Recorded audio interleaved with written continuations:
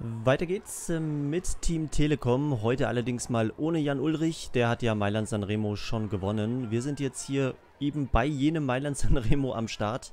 Haben unser Team hier vorne ein bisschen eingespannt. Jetzt geht's natürlich gleich noch in Poggio und Cipressa. Da freuen wir uns drauf. Wie gesagt, nicht die schlimmsten Anstiege. 5,6 Kilometer. Das Team haben wir jetzt mal hier mit 100% eine richtige Teamtaktik hier reinfahren. Können wir dann am letzten Berg machen. Jetzt heißt es eigentlich hier relativ kraftsparend drüber kommen, wenn Sepp Kuss uns mal nicht dauernd vor die Flinte fahren würde. So, vorne gab es ein paar Attacken. Die Ausreißer sind jetzt eingeholt. Wir haben da auch viel Arbeit gemacht. So, Mathieu van der Poel gehört ebenfalls zu den Top-Favoriten heute. Genauso wie Wout van Aert, den wir heute jetzt zur Vorbereitung auf die Klassiker doch schon mal mit reinnehmen. Also unser Team Telekom macht vorne Tempo. Wir nehmen mal die blauen Gele. Die werden uns jetzt wahrscheinlich noch helfen, später dann eher nicht mehr. So, Sepkus nervt ein bisschen heute. Aber wird uns in den Bergen dann wieder ein wichtiger Helfer sein. Also wir halten das Tempo hoch. Vielleicht kann man ja hier den ein oder anderen Sprinter schon ein bisschen müde fahren. Das wäre ja schon mal ganz gut. Wout van Art kommt hier natürlich easy rüber. Blaues Gel nehmen brauchen wir eigentlich gar nicht, weil wir es jetzt in der Abfahrt gleich wieder alles gut machen. Und dann schauen wir mal, dass wir uns vielleicht in den Berg rein, in den nächsten eine Attacke reinfahren lassen und dann auf den letzten Metern nochmal drüber attackieren und dann in die Abfahrt reingehen. Damit der rote Balken unten vielleicht sogar wieder komplett regeneriert ist. Wir haben es, glaube ich, vor zwei Jahren mit Jan Ulrich gewonnen. Letztes Jahr haben wir es mit Alejandro Valverde gewonnen. Das wäre schön, wenn wir das nochmal hinbekämen. Mit Wout van Aert Bislang haben wir alle Rennen dieses Jahr gewonnen. Die Tour de la Provence haben wir gewonnen mit Ulle. Wir haben eben Paris-Nizza gewonnen. Und Mailand Sanremo. Und die Klassiker wären natürlich super, wenn wir da die Strähne aufrechterhalten. Und mit Ulle würde ich auch Paris-Roubaix rauslassen. Das war letztes Jahr zwar ein mega geiles Rennen, aber der Kopfsteinpflasterwert ist jetzt, glaube ich, für uns dieses Jahr nicht ganz so wichtig. Deswegen würde ich dort eher auf die Flandern-Rundfahrt setzen, weil da könnten wir rein theoretisch sogar Chancen haben. So, bin ich aus Versehen an die Spitze gefahren. Wir nehmen jetzt doch mal das blaue Gel. Schaden tut's nichts. Und dann geht's hier in die Abfahrt rein. Und dann müssen wir später wieder gut abfahren. Ich hoffe, wir dürfen alleine abfahren. Man hat gerade schon gesehen, wie man da weggeboxt wird. In der Gruppe abfahren war noch nie mein Ding.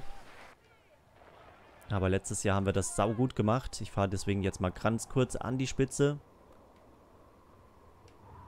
Das ist ja nicht die schwerste Abfahrt hier. So, Sepkus kommt nach vorne. Jetzt ein bisschen übertrieben. So, 155 Fahrer noch in der Gruppe. Also klein geworden ist das Ding hier nicht.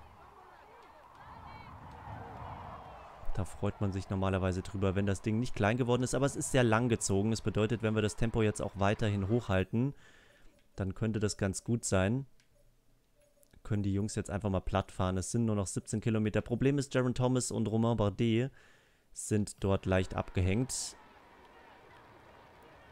Weil hier vorne die Gruppe sich dann doch jetzt leicht abgesetzt hat. Zwölf Fahrer sind hier nur noch drin. Können wir das nämlich jetzt mal durchziehen. 16 Kilometer, komm schon Kaspar, zieh durch.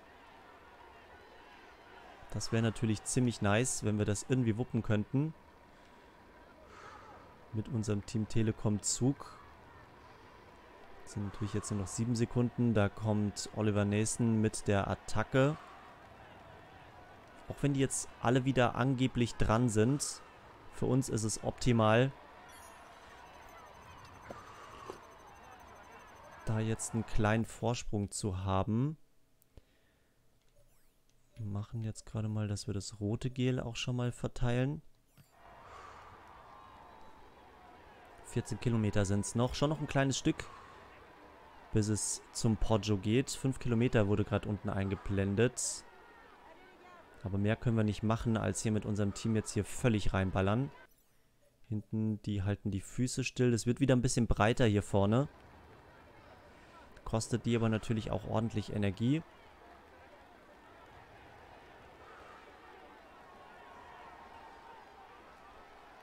So, mal schauen. Kommt schon, Jungs. Zieht noch ein bisschen durch. Jetzt sieht es schon wieder relativ normal aus. Also den Vorsprung konnten wir nicht ganz mit reinhalten. Wir waren aber auf jeden Fall kräftesparender unterwegs als die Konkurrenz. 11,6 Kilometer. Fabio Felazio noch mit dabei. Und dieses Stück zwischen Poggio und Cipressa, das zieht sich immer. Also zwischen Cipressa und Poggio. So, mal schauen, ob wir hier wieder den Mohoric geben können. Der Telekom-Zug geht weiter. Hier jetzt nochmal der letzte kleine Anstieg, bevor es dann da vorne reingeht.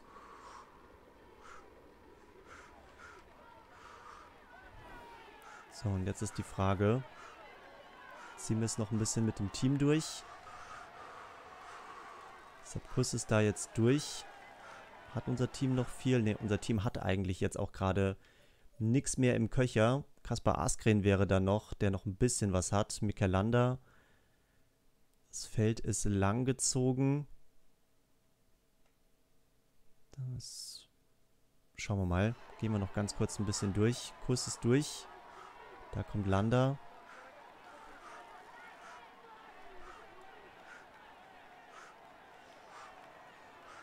Jetzt müssen wir aber langsam aufpassen. Weil jetzt geht's dann los. Also, da sagen wir jetzt mal, Leute, haltet die Füße still. Wir gehen mal hier mit der Gruppe mit. Das ist mal eine andere Taktik als in den Jahren davor. Es hat uns jetzt nicht wirklich viel gebracht.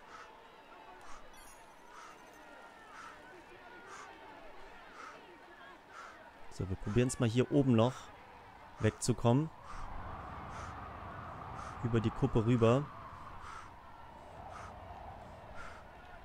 Mit Wout van Art. Vorsprung wächst sehr schnell. Dann geht es hier vorne jetzt gleich in die schnelle Abfahrt rein, die wir natürlich wieder optimal fahren müssen.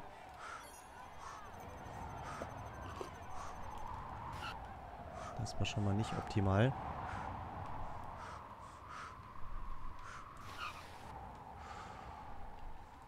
So, let's go.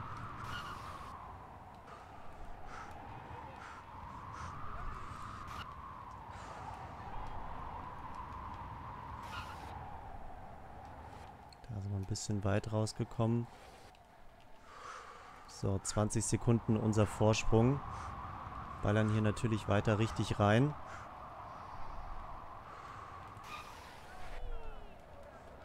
So, beschleunigen hier wieder raus. Nehmen das rote Gel.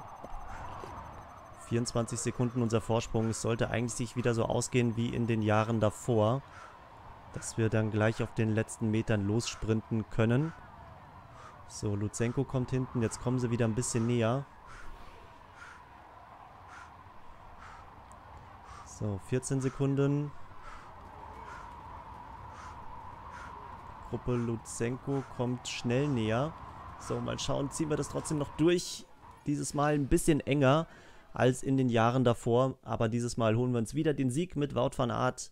Sehr, sehr schön. Drittes Rennen der Saison, dritter Sieg und ja auch auf dem höchsten Schwierigkeitsgrad. Ich meine, mit Wout van Aert ist das jetzt auch kein, kein Hexenwerk, muss man ganz klar sagen. Aber wir spielen jetzt ja auf der höchsten Ebene. Da darf man sich auch mal einen guten Fahrer gönnen. Ob wir das jetzt mit dem Ulle von vor zwei Jahren gewonnen hätten, das wage ich zu bezweifeln.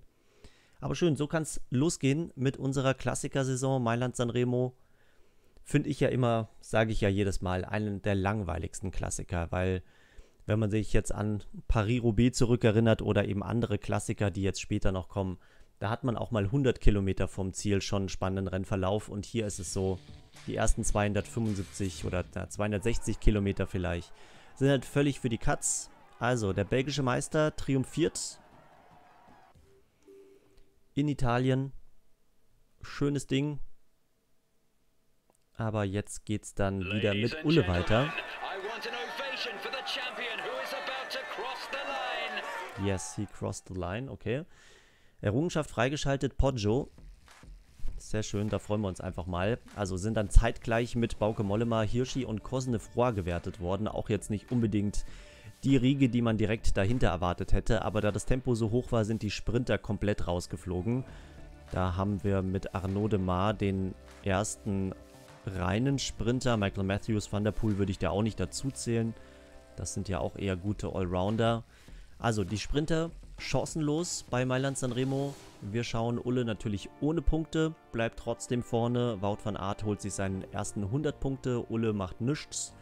Und jetzt geht's zur Flandern-Rundfahrt und da würde ich natürlich gerne mit Ulle versuchen, auch das Ding zu holen. Wir haben super Helfer mit dabei, wir versuchen ähm, nicht wie letztes Jahr, wo wir uns ja so sehr auf Ulle konzentriert haben, dass dann ja, die Teamkollegen, die eigentlich das Rennen hätten gewinnen können, dann äh, völlig in Vergessenheit geraten sind. Das versuchen wir dieses Jahr anders zu machen, aber die Primäraufgabe ist, Ulle zum Sieg zu führen, damit er dort eben auch bei seinen Punkten nochmal ein bisschen was dazu bekommt. Also Kopfsteinpflaster kriegt man da nichts, aber ich glaube beim Hügel würde man nochmal ein bisschen was dazu bekommen. Das wäre nice, wenn wir das schaffen. Wir gehen rein in die Flandern-Rundfahrt. 56 Kilometer sind es noch. Unser Team ist noch ziemlich gut am Start. Und vor allem Ulle mit Tip-Top-Tagesform. Mathieu van der Poel greift da vorne jetzt schon an. Etwas verfrüht, würde ich mal sagen.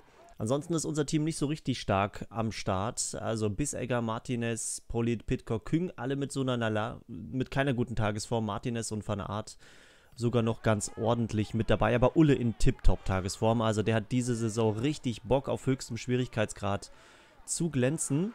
Und wie gesagt, wir haben unser Team jetzt hier vorne mal eingespannt, 55 Kilometer. Ansonsten für die finalen Kilometer hätten wir ja noch Wout van Art an unserer Seite. Von daher können wir da jetzt auch erstmal ein bisschen defensiver rangehen von Ulle Seite aus. So, da bleiben wir mal hier vorne sitzen. Blaues Gel haben wir noch. Letzte Verpflegungszone ist allerdings auch schon hinter den Fahrern. Und mit unserem Hügelwert, Beschleunigungswert und so weiter ist, ist die Frage, ob wir das, die Entscheidung früh suchen. Das werden wir dann machen, wenn wir sehen, dass die Konkurrenz nicht mehr kann. Oder eben wir warten und aus einer Gruppe raus sind wir im Sprint ja auch enorm stark. Also von daher sollte das alles relativ unproblematisch sein, außer wir machen eben taktische Fehler. Die können immer passieren, gerade bei solchen Rennen lässt man dann doch die entscheidende Gruppe wegfahren und dann hat man eben doch ein Problem. Ich hole mir jetzt gerade mal, ach nee, Bissegger ist noch bei uns. Ja, sieht aber nicht so fresh aus, was der da macht. Ansonsten hole ich mir nämlich jetzt mal Wout van Art an die Seite. Man sieht, Ulle ist heute stärker als Wout van Art. Deswegen wird er uns da jetzt mal beschützen. Und als ich die Prognose gemacht habe mit, wir werden dieses Jahr auf jeden Fall mehr auf Wout van Art achten, da wusste ich ja noch nicht, dass Ulle so eine Tagesform hat. Damit war nicht zu rechnen. So, Vorsprung 47, 48 Sekunden. Entschuldigung, muss hier einmal durch. Tempo ist ohnehin jetzt gerade nicht hoch. Ja, das liebe ich immer hier. Da wird man richtig schön weggeballert. So, Wout van Art bringt uns da mal nach vorne. So, Vermersch. Jetzt fahren wir hier aber trotzdem irgendwie so. Wout van Art quetscht dich da mal durch. Wir fahren ja nicht mal besonders schnell, um ganz ehrlich zu sein. Also, da haben wir jetzt trotzdem die Gruppe schön klein gefahren.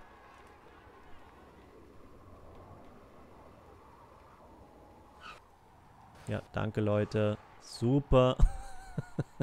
Muss man einfach lieben, dieses Kurvengefahre. Hab mich da inzwischen, also wenn es mich jetzt nicht gerade in den Sturz reinbringt, dann bin ich da relativ entspannt. So, 17 Fahrer sind hier nur noch drin. Wahnsinn. Ulle einfach noch mit vollem blauen Gel. Unser Team ist noch mit am Start. Da können wir jetzt auch mal die blauen Gele schon verteilen. Und wie gesagt, mit Wout van Art haben wir halt den edelsten aller Edelhelfer. Und dann machen wir das, was auch in den Kommentaren stand, dass wir Nils Polit zum Beispiel jetzt in der Nachverfolgung hier natürlich rausnehmen. Der soll dann nicht mehr mithelfen. Das wäre ziemlich sinnlos. Da muss ich dann auch mehr drauf achten. Macht der Sinn. Mein, machen wir beim Pro Cycling Manager ja logischerweise auch. Wer gearbeitet hat, der darf sich dann sein Naschtütchen nehmen und nach Hause gehen. So wie früher beim Kindergeburtstag. ich liebe diese Tütchen. Warum gibt es die heute nicht mehr? Weißt du, man geht heute auf irgendwelche Feiern, man besäuft sich. Warum kriegt man keine Naschtüte mehr? Das sind Fragen, die man sich während der Flandern-Rundfahrt auch einfach mal stellen muss. Die wirklich wichtigen Fragen. So, vorne ist Mörkow noch raus. Ja, wir fahren immer noch auf 100%, 46 Kilometer. Und wie gesagt, Wout van Art haben wir ja auch immer noch. Das passt schon, auch wenn sich unser Team da gerade vorne selbstständig versucht zu zerschießen. So, Dylan van Baalen noch in der Gruppe. Gibt es ja auch ordentlich Gerüchte, wo er hingeht. Ich glaube, er hat noch nicht verlängert bei Ineos. Super Fahrer. Ich kann immer nur wieder sagen, Dylan van Baale, so ein Fahrertyp, den hat man einfach gerne bei sich. So, weg da. Jawohl, Tom Pitcock drückt auch nochmal durch. Vorne machen sie jetzt Stehversuche. So, Wisniewski, da fahren wir einmal außen rum. Wir ziehen hier einmal durch. Martinez natürlich auch ein super Helfer. Auch auf dem Terrain. Wir müssen jetzt nochmal ein bisschen warten, damit unsere Helfer auch mitkommen. Wir haben Stefan Küng noch mit dabei, der bei Groupama verlängert hat. So, Pitcock ist da jetzt durch. Der kriegt aber nochmal das rote Gel. Martinez kriegt das rote Gel und Küng kriegt ebenfalls das rote Gel. Der könnte aber da gleich noch ein bisschen durchpowern, so wie wir jetzt auch. Wout, fahr mal ein bisschen. Die Gruppe hier wird nämlich immer kleiner und dann haben wir tatsächlich Küng wieder zurück.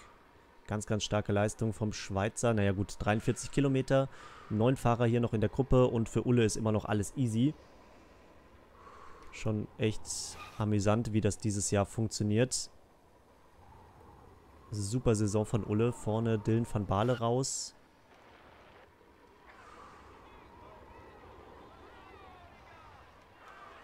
Ups, ah, okay, wir fahren da lang. Ja, sag das doch. Also vorne Dylan van Baale raus. Zusammen mit Dylan Töns. 41 Kilometer ist allerdings auch sehr, sehr früh. Und wie gesagt, wir haben Wout van Art ja auch noch zum Tempo machen. Und selber dürfen wir auch noch losgehen. Wir haben selber auch noch ordentlich Power in den Beinen. 40 Kilometer vor dem Ziel. Wie geht's Küng? Naja, da müssen wir bald auf Wout van Art umswitchen oder eben auch die Kollegen mal machen lassen. So, Mathieu van der Poel hat sicherlich auch Interesse, da hinterher zu gehen. Okay, dann fahren wir fahren durchaus mal vorbei. Wir wollen auch ein bisschen mitarbeiten. Macht zwar wenig Sinn, wenn wir Küng und Van Art noch haben.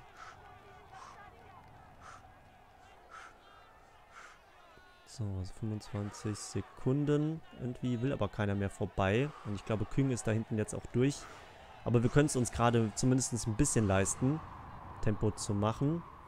Sollten hier vorne dann allerdings aufpassen. So, Jungs. Kommt mal mit. Wo ist Wout van Art? Dann lassen wir den noch ein bisschen Nachführarbeit machen, bevor wir dann unsere finale Attacke da vielleicht auch reinsetzen.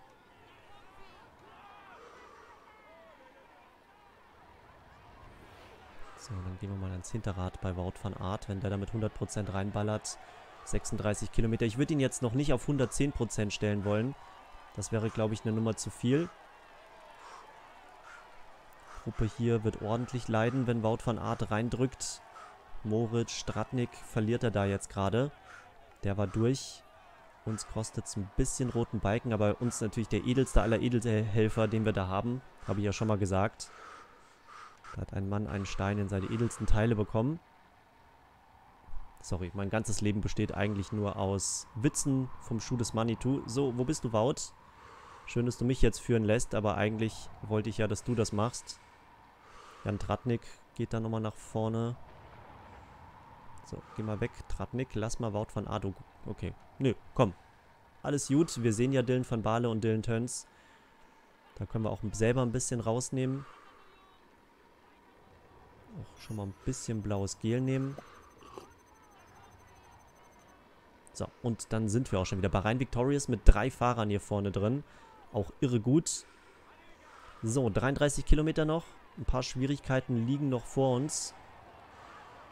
Gruppe ist mit elf Fahrern nicht mehr wirklich riesig. Haut van Art hat noch das blaue Gel. Jawohl, das ist natürlich mega. Dann kriegt er das noch schnell. Bleibt mal vorne, hält das Tempo hoch damit von hinten auch keine mehr rankommen, damit die hier auch nicht regenerieren können und Ulle mit dem blauen Balken und allem. Easy peasy schaffen wir das, das ist das neue Wort der Saison und jetzt verkacken wir es wahrscheinlich gleich königlich.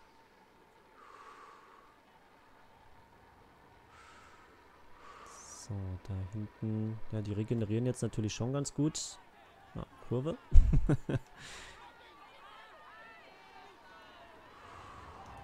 so, machen wir mal den hier. regenerieren wir jetzt nochmal enorm. Hoppala.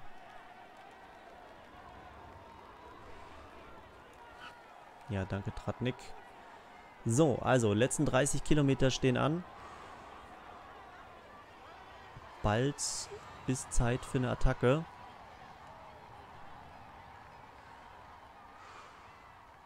Mal schauen, wann wir das jetzt gleich machen. Dann stellen wir Wout von Art mal auf 110. Zum Beispiel jetzt gerade.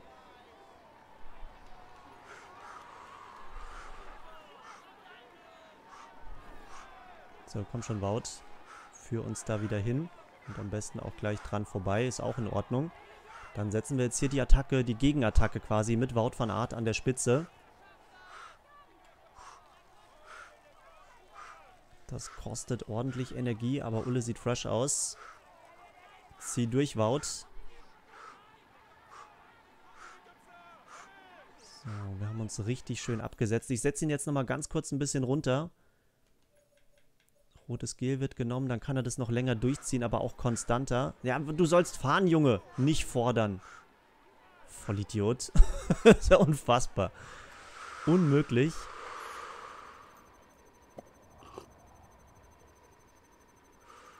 So, blaues Gel nehmen wir komplett. Wout von Art macht weiterhin mal konstant Tempo. 21 Sekunden unser Vorsprung. Versuche ihn jetzt noch so lange wie möglich irgendwie zu nutzen und hinten ist gerade richtig der Sack aufgegangen. Sagt man das so? Das sagt man nicht so. Oder kein Mensch sagt, der Sack ist aufgegangen. Außer man möchte jemanden beleidigen. Vielleicht gibt es einen Kuchen, der so heißt. So, 33 Sekunden der Vorsprung. Ulle quasi noch mit fast vollem blauen Balken. Wout van Art wird gleich raus sein. 30 Sekunden. Mathieu van der Poel Ui, boah, der hat gerade ein Salto gemacht. Das war einfach der Mohoric vom Giro. Habt ihr das auch gesehen oder war das einfach ein Fehler im Bild? Das sah irgendwie lustig aus. So, rotes Gel hat er nicht mehr. Wir nutzen ihn mal, bis gleich der rote Balken abgeflossen ist. Und dann schauen wir mal, wann Ulle dann losgeht. So, 25 Sekunden. Jetzt wird es aber schnell weniger sehr, sehr schnell weniger. Da hinten attackieren sie jetzt richtig rein.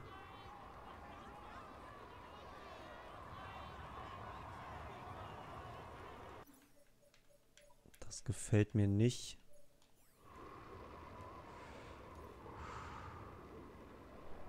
So, und ich glaube, jetzt müssen wir es einfach selber fahren. Jetzt ist der Moment gekommen. So, jetzt Hulle gegen den Rest der Welt. Und Van Art kriegt natürlich das hier. Da müssen wir bei den anderen auch noch dran denken. Sorry, habe ich wieder nicht gemacht. Regenerationsmäßig für die Saison auch wichtig. So, vorne kommt eine enge Kurve. Und Ude Quaremont kommt natürlich auch. Und da werden wir jetzt selber ein bisschen durchattackieren, weil das der letzte Berg ist, wo man es tatsächlich auch machen kann. So, schneller wird uns dazu gerufen. Dankeschön. Und jetzt ziehen wir durch.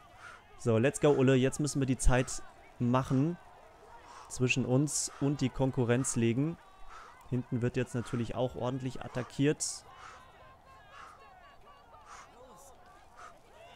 Vorsprung wird aber deutlich schneller, größer. Halbe Minute ist es jetzt inzwischen. Timen wir das mal ein bisschen, weil es sind natürlich schon noch 16 Kilometer. Da können wir dann schön ein bisschen Einzelzeitfahren machen. So, jetzt warten wir mal, weil wir müssen den Rest des Rennens auch noch überstehen. Sieben Fahrer hinter uns, die Gruppe Van der Poel. So, wir haben mal die Steuerung rein und versuchen das den Rest des Rennens so durchzustehen. Bin gespannt, ob die da hinten noch genügend Energie haben. Ob die sich einig sind, das werden wir gleich alles rausfinden. Hier nochmal schnell in die Aerodynamik rein. Da, wo es irgendwie geht. 33 Sekunden.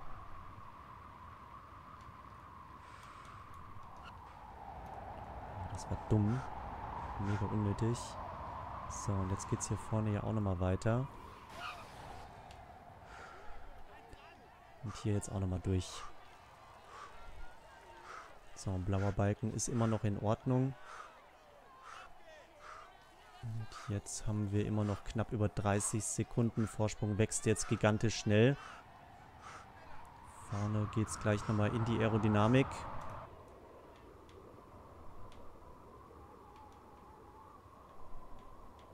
So, und jetzt ziehen wir es mal durch. Mit der Steuerung 11 Kilometer Vorsprung nochmal ausgebaut. Jetzt bleibt es wahrscheinlich relativ eben. 43 Sekunden. Vier Fahrer sind das hinten dran. Wir fahren den roten Balken gerade nur minimal platt. Aber das sieht gut aus. Das sieht sehr, sehr gut aus. Das könnte der Sieg werden für Ulle bei der Flandern-Rundfahrt. Das würde uns natürlich nochmal richtig schön weiterbringen. Van der Poel hat jetzt nochmal attackiert. Der muss jetzt aber die Lücke natürlich auch selbstständig hier zu Ulle zufahren. Und Ulle wird nicht langsamer werden.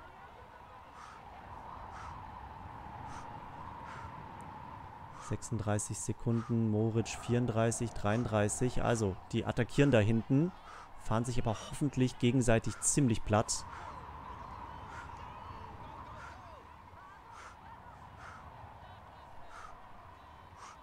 Wir versuchen es jetzt auf lange Sicht zu schaffen. Also wenn die da hinten nochmal rankämen, dann hätten wir echt ein Problem im Sprint. So, da hinten sehen wir, Mathieu van der Poel ist jetzt aber alleine unterwegs. Das ist sehr gut für uns. Moritz zu zweit. Aber ich glaube nicht, dass die das schaffen. Wir müssen allerdings auch ein bisschen auf den blauen Balken dann doch achten. 5 Kilometer Marke gleich erreicht. Können es jetzt ja auch ein bisschen timen. Ich glaube nicht, dass Mathieu van der Poel da den Sprint des Todes hinlegen kann. Aber müssen dann doch oft mit dem blauen Balken noch ein bisschen haushalten. So, wenn es nochmal kurvig wird, wäre für uns auch ganz gut. Konkurrenz verliert ja immer ein paar Sekunden in den Kurven, aber das sind jetzt keine besonders schlimmen Kurven. Vier Kilometer noch. Gehen wir nochmal ein bisschen vom Tempo runter. Van der Poel 35, 34. Aber das sollten wir uns auf 3,4 Kilometer eigentlich nicht mehr nehmen lassen, wenn wir jetzt nicht aus Versehen einbrechen. Er macht nicht schnell genug Zeit gut und ihm geht es anscheinend auch nicht besser. Gehen wir wieder ein bisschen höher. Jetzt hat er nochmal attackiert. Hinten 25, 24. So, vorne haben wir den letzten Kilometer. Wir ballern. Van der Poel kommt schnell näher. Der gibt da gerade alles. Aber das sollte sich für uns ausgehen. Jo, das geht sich für uns aus. Und dann wird das der Sieg bei der Flandern-Rundfahrt. Glaube ich, ganz ordentlich gemacht, aber auch wieder Spitzentagesform. Ulle richtig gut, Wout van Aert mit einer sensationellen Helferleistung. Stefan Kühn, generell das ganze Team hat richtig gut gearbeitet für uns. Die Gruppen wieder zurückgeholt und dann im entscheidenden Moment die Attacke gemeinsam mit Wout van Aert war, glaube ich, echt wichtig, weil er uns da nochmal Körner gespart hat. Also viertes Rennen der Saison, vierter Sieg, so kann es weitergehen.